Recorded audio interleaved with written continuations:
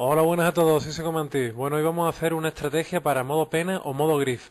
Entonces, antes de empezar la verdadera partida, me voy a venir aquí porque voy a explicaros poco a poco y lentamente cómo vamos a hacerlo todo. Entonces, lo primero de todo, nada más empezar la partida, que es lo más importante, dos de nuestros compañeros van a venir aquí y se van a coger la escopeta. Dos de nuestros compañeros, ¿vale? El otro compañero va a estar buscando ventanas para que el cuarto haga los puntos matando zombies y ese, el cuarto compañero es el que va a abrir las puertas, ¿vale? Nada más que hay uno que se va a quedar con el dinero sin tocarlo, ¿vale? Que ahora después os diré por qué. Entonces nos vamos a venir a esta puerta, nada más que uno de los cuatro, ese que, que va a juntar el dinero, nada más que ese tenga el dinero, vamos a entrar por esta puerta. Importantísimo. Por esta puerta accedemos antes por la escalera y llegamos ante arriba, que es, es nuestro fin. Nuestro fin es llegar antes que los demás arriba. Bueno, pues dicho esto, vamos a empezar y ahora os voy a decir lo que haríamos arriba. Vamos a empezar la partida. Empezamos entonces la estrategia. Ahora vamos a hacer lo que estábamos diciendo. Vamos a ir primero a por las dos escopetas. Van a venir los compañeros y se van a coger los dos las dos escopetas. Entonces ahora vamos a estar llamando al, al, compañero que tiene que ir matando los zombies, por si vemos zombies en las ventanas y él no los ve, pues avisarle, venga, ven por aquí y va ir matando, ¿vale? Entonces se tiene que conseguir 750 puntos, nada más que se lo consiga, los 750 puntos, rápidamente nos vamos a ir a la puerta chica de la, de la granja, a la puerta chica de arriba, y vamos a entrar los primeros antes que nadie. Entonces ahora nos acaba de llamar, vamos corriendo para acá, Vamos corriendo para acá, nos ponemos aquí y entramos los primeros antes que nadie. ¿eh? El truco es, la, aquí la, el, lo principal de la estrategia es eso, subir antes que los otros. Entonces nada más que estamos aquí, los dos compañeros de la escopeta se tumban. Y entonces aquí ya tenemos hecho un pedazo de muro que aquí no entra ni Dios, aquí no entra ni el tato, colega. Entonces ya, cogeríamos la MP5, ¿vale?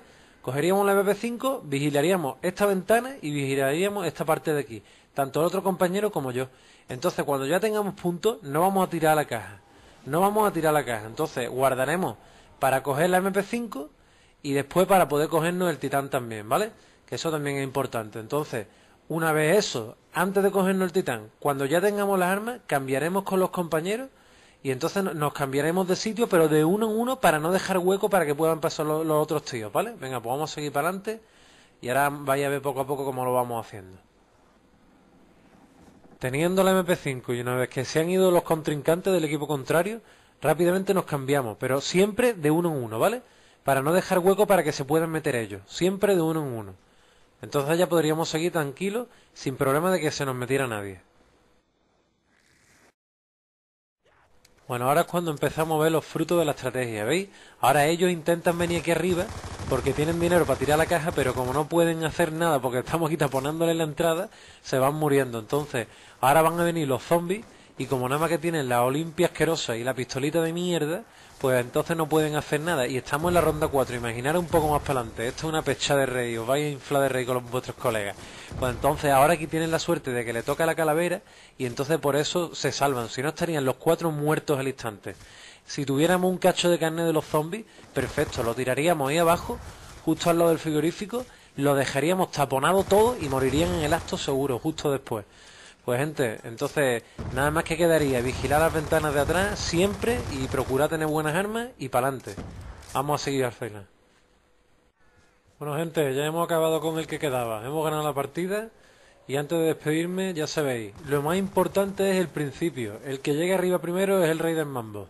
Bueno pues gente, espero que haya gustado y ya sabéis, darle like, suscribiros y hasta el próximo vídeo.